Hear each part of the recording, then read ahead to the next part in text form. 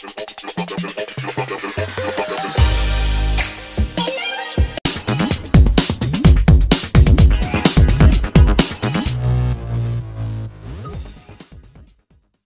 yung ating diagram. Sobrang simpleng diagram lang to. Ito yung placer relay natin. B, yung in- input then output ng L. Ah, sa diode. Ayun guys, yung dalawang diode na kinuha ko kanina. So black ito yung output ng diode.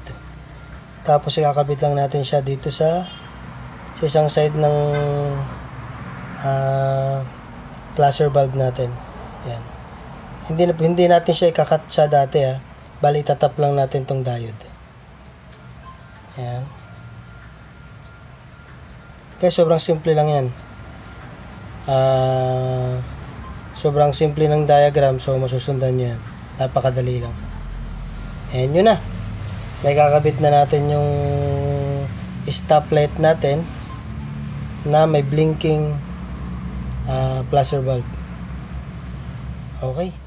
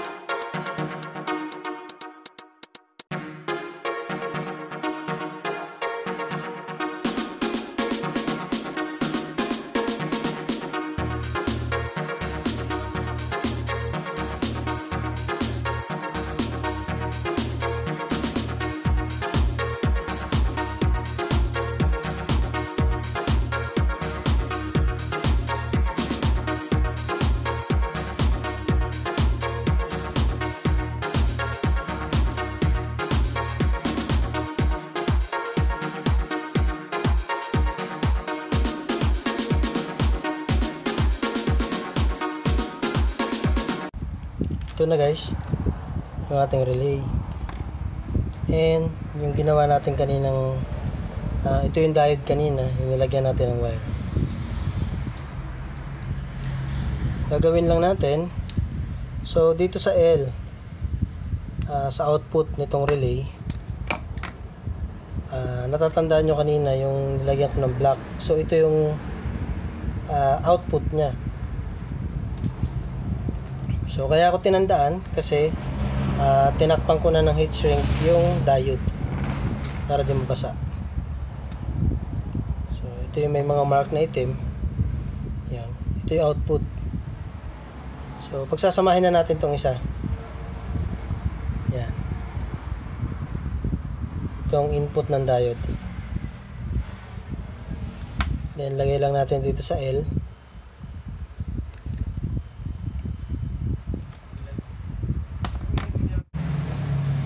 so lagyan muna natin ng heat shrink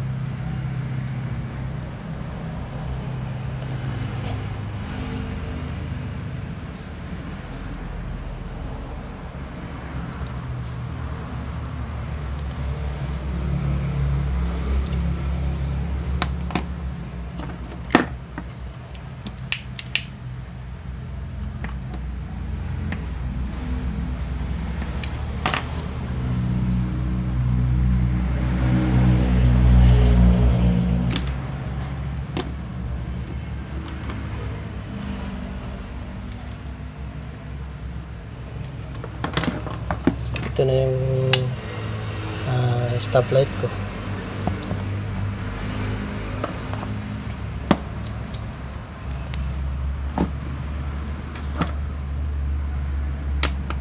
Kunin nyo lang yung isang linya.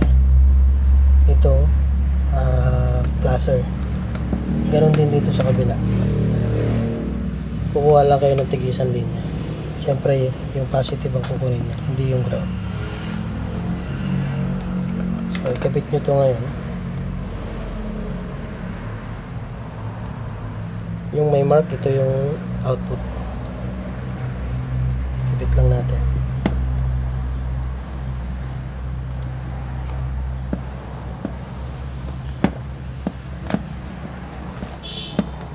Electrical tape.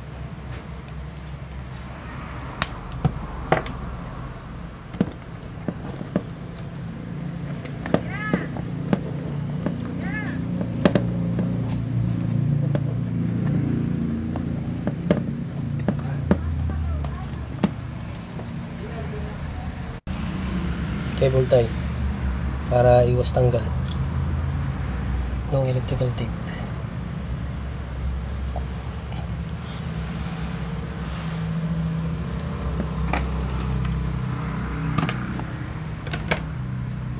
Then ganun din dito sa kabilang linya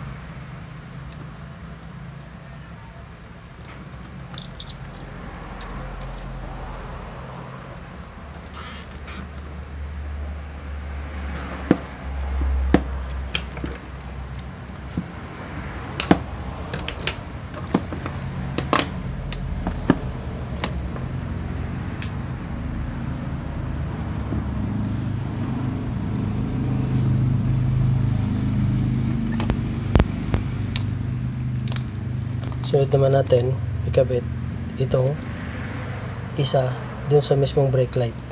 Ito yung pag pumipreno ka iilaw.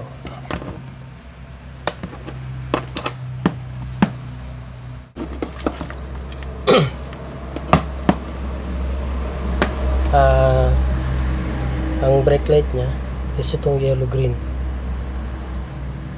Yan So dito natin siya itatap.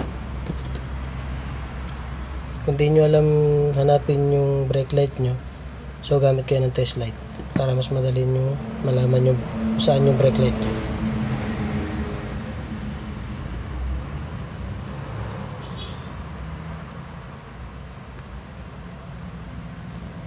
Ingatan lang baka maputol.